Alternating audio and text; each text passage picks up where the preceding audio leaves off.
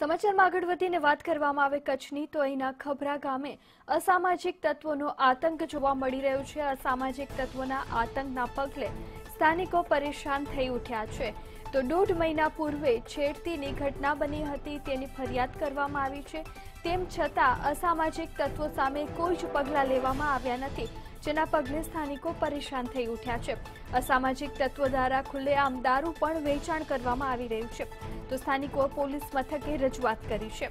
તો ખબરા ગામે અસામાજિક તત્વોનો આતંક જોવા મળી રહ્યો છે અને કચ્છના ખબરા વિસ્તારની આ ઘટના છે જ્યાં ખુલ્લેઆમ દારૂનું વેચાણ કરવામાં આવી રહ્યું છે અને પોલીસને આ અંગે રજૂઆત કરવામાં આવી છે.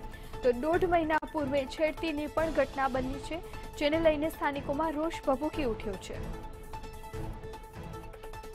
આ વધુ વિગતે વાત કરવા માટે જોડાયા છે સંવાદદાતા કૌશિક.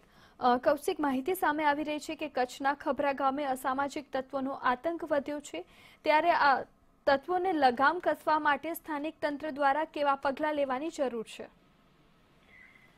જે, ચોક્કસથી અંજાર તાલુકાના ખંભરા ગામે અસામાજિક તત્વો બેફામ બન્યા છે. દોઢ મહિના પૂર્વે એક યુવતીની છેડતીનો બનાવ પણ સામે આવવા પામ્યો હતો અને આ બાબતે અંજાર પોલીસ મથકે રજૂઆત પણ કરવામાં આવી હતી. તેમ છતાં કોઈ પણ જાતના પગલાં લેવામાં આવ્યા ન હતા અને ફરી પાછો આ જ બનાવ બનવા પામતા લોકોમાં પણ એક રોષ ભભૂકી ઉઠ્યો હતો અને આજે ગ્રામજનોએ અંજાર પોલીસ મથકે આ અસામાજિક તત્વો છે તેની સામે પગલા ભરવા માટે રજૂઆત કરી છે.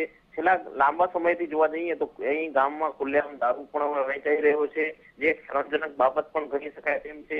ત્યારે આ બાબતે તાત્કાલિક રહે પગલા ભરવામાં આવે અને આવા અસામાજિક તત્વોને પાઠ ભણાવવામાં આવે તેવી માંગણી પણ ગ્રામજનો દ્વારા કરવામાં આવી છે. જી. જી, આભાર કૌશિક સમગ્ર માહિતી બદલ. તો કચ્છના અંજાર તાલુકાના ખબરા ગામે અસામાજિક તત્વોનો આતંક સામે આવ્યો છે. મહત્વનું છે કે દોઢ મહિના પહેલા યુવતીની છેડતી કરવામાં આવી હતી અને આ અંગે ફરિયાદ કરવામાં આવી તેમ છતાં કોઈ જ પગલાં લેવામાં આવ્યા નથી.